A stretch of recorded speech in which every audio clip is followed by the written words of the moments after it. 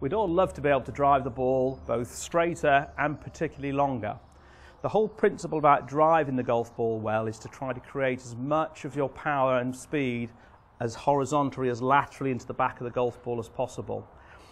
With that in mind, we tee the ball, okay, and then we reposition things slightly so that we get this correct low, shallow angle of attack, sending our ball forwards.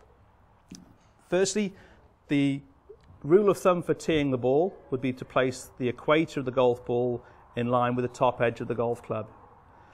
We're not going to try and hit the ball from up here. We're going to try and hit the ball more in the centre. Okay, so as the club comes through, it's literally going to skim the top of the tee as it makes contact. Ball in position, ball teed up nicely.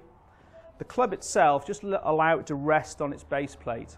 Okay, don't push it forward or backwards. Try and keep the shaft running straight at you. Placing the hands in front of us, this would look a bit out of position. This would look a lot better. And poor position again. So the hands will be in front of us. The club shaft will be set like so. This is deciding our foot position for our shot. The ball is just a little fractionally in from the left foot with a slightly wider right foot position.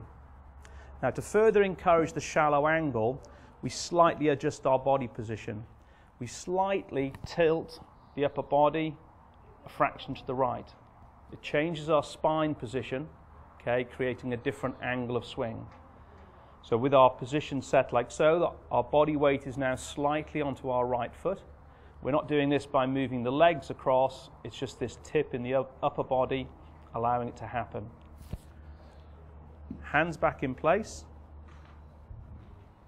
There's our setup. We can practice. Our swing should be quite shallow, nice turn, and a shallow swing.